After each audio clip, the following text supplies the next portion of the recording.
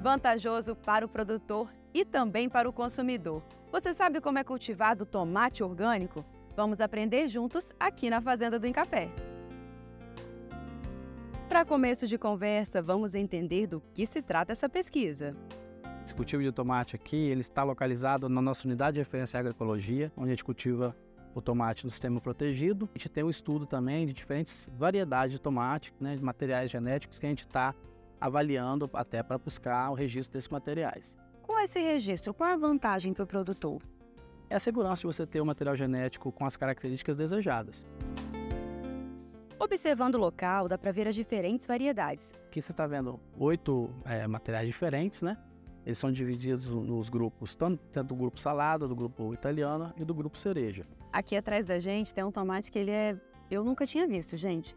É o perinha. É uma variedade um, é, um pouco exótica, né? E é bem interessante porque quando o produtor leva esse tomate, ele é muito saboroso, leva para as feiras, ele é, da culinária também ele é bem interessante, fazer os pratos variados, né? Em relação a esses três tipos de tomate, quais são as características deles, de cada um, desses três grupos?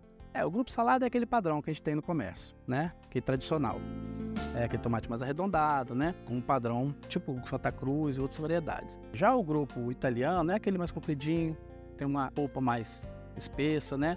O lóculo menor, menor quantidade de sementes. E os grapes são aqueles tomatinhos tipo frutas mesmo, né? Que vê nas caixinhas, os tomates mais... Mais redondinhos. Arredondadinhos, assim. né? Tomates que tem um, um brix mais elevado, mais adocicados, né?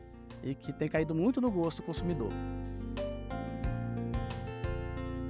É daqui que saem os alimentos das plantas. Luiz, qual a importância desse espaço? Então, esse espaço a gente chama de galpão de compostagem, é da onde sai toda a adubação no nosso cultivo orgânico, inclusive do tomate. Então, a gente chama aqui, aqui é o, como se fosse o coração da nossa área. Então, toda a nutrição das plantas, né, o alimento das plantas sai desse galpão. E o que, que é este alimento? Este alimento é um composto orgânico à base de capim triturado, é, palha de café e restos culturais com cama de frango. Então a gente faz essa mistura, existe uma metodologia para ser feito. Esse material ele vai se decompor, né? ele vai entrar num processo entre, em que os micro-organismos vão produzir, vão liberar esses nutrientes desses materiais e a partir daí a gente utiliza para a adubação das culturas. E aí é muito importante para que o tomate lá dê certo. Isso, então a base nutricional dele está aqui. Além de fazer bem à saúde de quem produz e de quem consome, o cultivo de orgânicos agrega valor à plantação. Às vezes eu não vou vender uma quantidade de tomate muito grande, mas eu consigo um valor agregado por ser um tomate limpo, não tem produto. Então é um, uma, uma coisa diferenciada. É aí que o produtor vai ganhar dinheiro. Mas, na prática, como é feito o manejo? Como nós somos em fechada, praticamente não temos 90% das doenças são reduzidas, porque não tem umidade na folha. Aqui a gente usa o manejo integrado, porque praticamente você não tem que usar muito produto químico. No, no tipo de tomate, a gente utiliza o mulch plástico. Para que, que serve esse mulch? Para poder evitar ou minimizar a questão das plantas daninhas ou do mato, né, o controle do mato, e para também melhorar a questão da umidade do solo. Então, abaixo desse mulch, se a gente observar, a gente tem uma fita gotejadora, onde é feita a aplicação da irrigação e a aplicação da, do biofertilizante, que é a adubação de cobertura, né? Os cultivos tradicionais, né, devido à grande quantidade de pragas que têm associadas, é utilizado um grande aporte de aplicações de agrotóxico. Aqui no nosso sistema, no sistema de cultivo protegido, a principal praga é a traça do tomateiro. E o que vocês fazem para combater? Então, além das outras pragas, né, que a gente também tem armadilhas para capturar outras pragas, a gente adota uma armadilha específica para traça do tomateiro, né, que captura essa traça, para avaliar a presença do adulto e aí, a partir daí também a gente toma decisão para entrar com outros métodos de controle, né, adotando manejo integrado de pragas.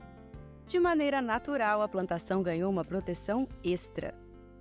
Andando por aqui, eu observei que tem uma moradora, né? Que tá constante, né? Em vários lugares do, do espaço. Sim, são as aranhas, né? A gente entende que é mais um método de controle biológico, natural, que ocorre no nosso sistema, que ajuda também a controlar as pragas.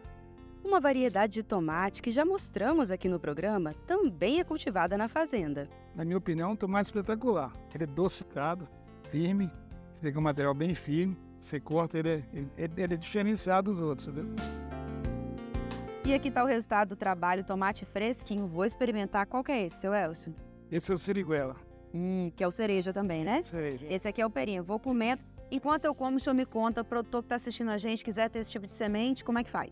É só procurar os escritórios do Icapé, que está atuando quanto é município, né? E vários escritórios e pega a semente. Bom, hein? Ele é ótimo, né? Doce é uma coisa espetacular. Olha o brix desse tomate. E olha a qualidade da flor, a cor. Olha aí. Eu vou comer um também, porque não sou filho de Deus. né? E assim a gente encerra. Um bom domingo para vocês.